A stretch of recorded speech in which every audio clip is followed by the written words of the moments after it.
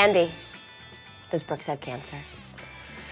Well, SMG, that is a very good question. I would say, Hold on, right here.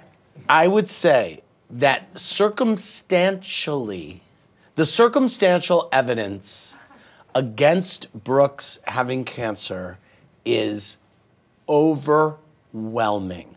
There has not been a document or a piece of proof that proves otherwise.